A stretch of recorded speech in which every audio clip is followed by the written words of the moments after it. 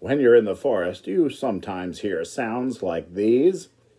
Yep. Or possibly sounds like this. Yep. Hello, my name is Maxwell Maroon, and I am the foremost expert on Bigfoot. I am also an expert on Yeti, the abominable snowman, and Sasquatch.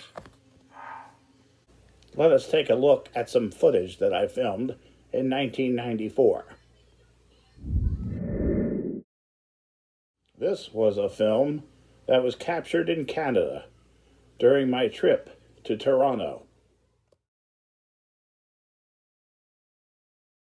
Is Bigfoot real? You betcha.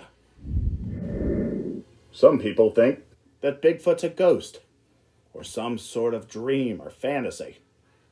Well, I'm here to tell you he's very real, and he smells bad too.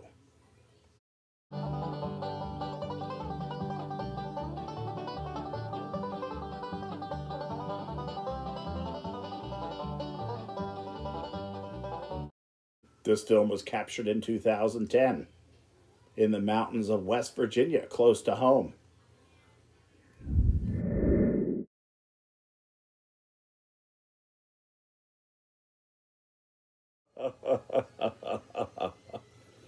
That's not funny. A lot of people think that Bigfoot is a fantasy or some joke or fake, but I'm here to tell you he's not.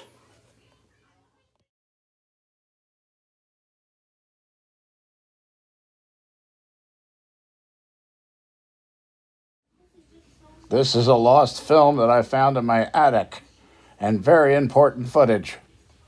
My first impression now years later, um, he looks like the Jack Link's Bigfoot, except mine was a charcoal gray. Do you believe? Well, you better start.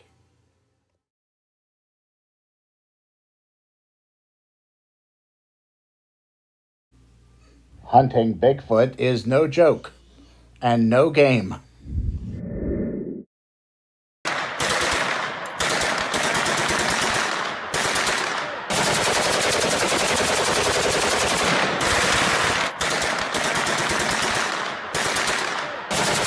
Let us speak to an eyewitness about Bigfoot. Mr. Peabody, did you see Bigfoot? Yes. And were you scared, Mr. Peabody? Yes. Did he make any unusual sounds? Yes. Could you make a sound similar to what he did? Thank you, Mr. Peabody. I am Maxwell Monroe, and it was a pleasure joining you today and discussing Bigfoot.